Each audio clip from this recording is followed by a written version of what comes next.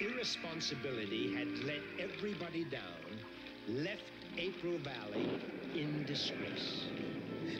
But, but I'll make it up somehow.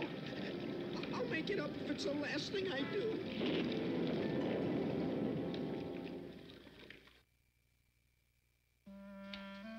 I'll make it.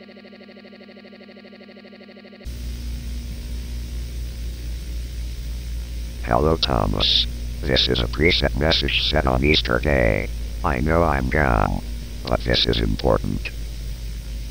At 6.23 p.m. another message will play today, and I need you to listen to it carefully. Remember Uncle Peter? I'm sure you do, because that fateful day is hard to forget. He's coming at 9 o'clock p.m. There is not time to explain how he's alive. I need you to lock the doors and find a place to hide. If you see a man that looks like this, look away immediately. Don't speak to him. This is Uncle Peter. I can't explain why he looks like this.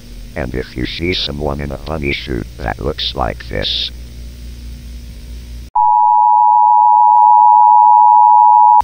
This is Uncle Peter. I know he looks nice, but you can't let.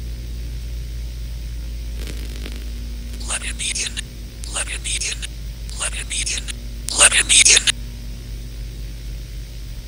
If he gets in the house, he can change things and appear in any location.